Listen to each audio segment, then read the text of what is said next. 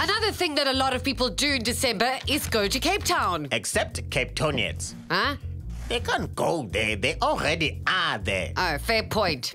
Here's some advice from Patricia de Lille for people visiting Cape Town this December. Visitors, please remember our beaches are cuck. Uh, well, I thought they were quite nice, actually. No, they look nice, but the water is mostly cuck. You know, actual cuck, sewage, turds, poopies, sucker fine poopies. Ah, sis.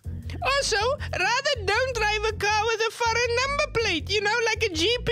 That's foreign? It is to Cape Townians. And lastly, don't go on the Cape Flats. Just don't.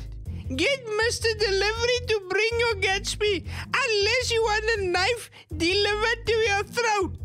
You know, to be stabbed. A lot of people like that kind of shit. It's kind of kinky.